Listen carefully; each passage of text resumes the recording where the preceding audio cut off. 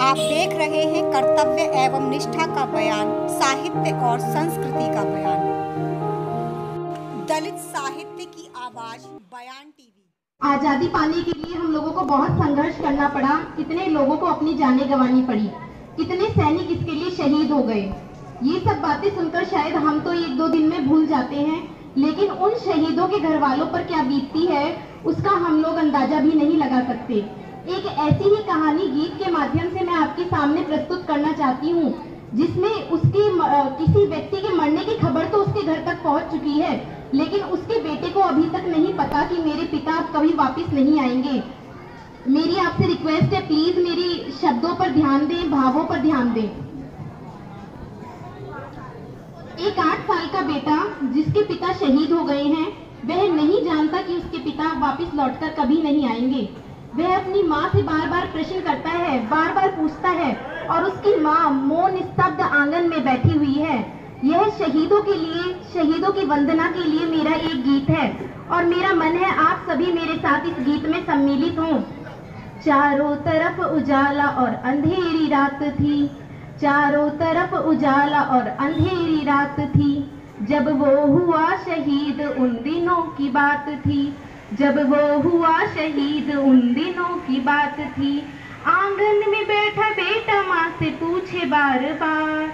आँगन में बैठा बेटा माँ से पूछे बार बार। दीपावली पे क्यों ना आए पापा अब की बार? दीपावली पे क्यों ना आए पापा अब की बार? बेटा ये नहीं जानता कि उसके पिता अब लौटकर वापस कभी नहीं आएँगे। दो तीन दिन से वह लगातार अपनी माँ की स्थिति को देख रहा है। और सुनिएगा बेटा, अपनी माँ से क्या कहता है? माँ, क्यों न तूने आज भी बिंदिया लगाई है? माँ, क्यों न तूने आज भी बिंदिया लगाई है? है दोनों हाथ खाली ना मेहंदी रचाई है?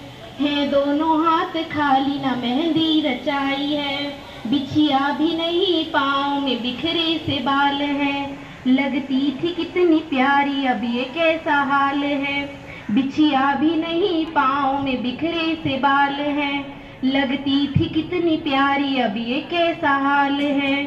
कुमकुम के बिना सोना सा लगता है श्रृंगार। कुमकुम के बिना सोना सा लगता है श्रृंगार। दीपावली पे क्यों ना आए पापा अब की बार? दीपावली पे क्यों ना आए पापा अब की बार?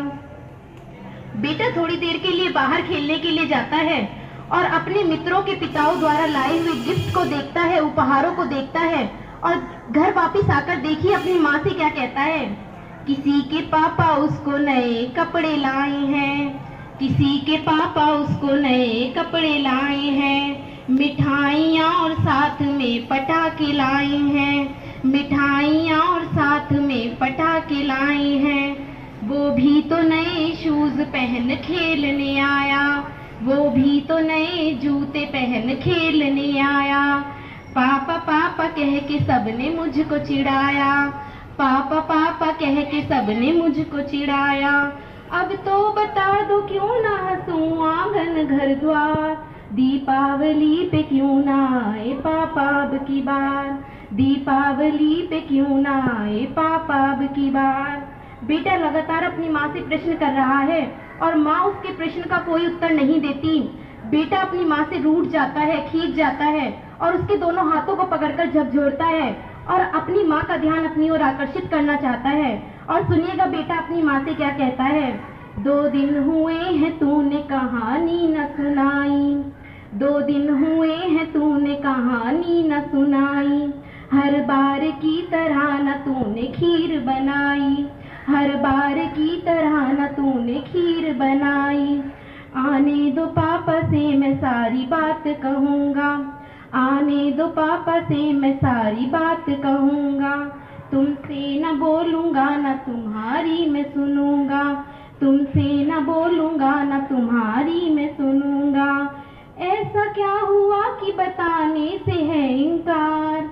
दीपावली पे क्यों ना आए पापा अब की बार? दीपावली पे क्यों ना आए पापा अब की बार?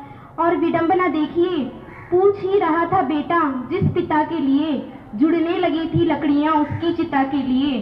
पूछ ही रहा था बेटा, जिस पिता के लिए जुड़ने लगी थी लकड़ियाँ उसकी चिता के लिए। पूछते पूछते वह हो गया निराश। जिस वक्त आँगन में आई उसके पिता की लाश। पूछते पूछते वह हो गया निराश। जिस वक्त आँगन में आई उसके पिता की लाश। बेटा थोड़ी देर उस लाश को देखता है, फिर अपनी माँ को देखता है। उन्हें उस लाश को देखता है और फिर अपनी माँ को देखता है। गीत का अंतिम बंद और देखिए वह आठ साल का लड़का अपनी माँ को क्या प्रत्युत्तर देता है? मत हो उदास माँ, मुझे जवाब मिल गया। मत हो उदास माँ, मुझे जवाब मिल गया। मकसद मिला जीने का ख्वाब मिल गया। मकसद मिला जीने का ख्वाब मिल गया। पापा का जो काम रह गया है अधूरा, पापा का जो काम रह गया है अधूरा लड़कर के देश के लिए करूँगा मैं पूरा लड़कर के देश के लिए करूँगा मैं पूरा। आशीर्वाद दो मुकाम पूरा हो इस बार।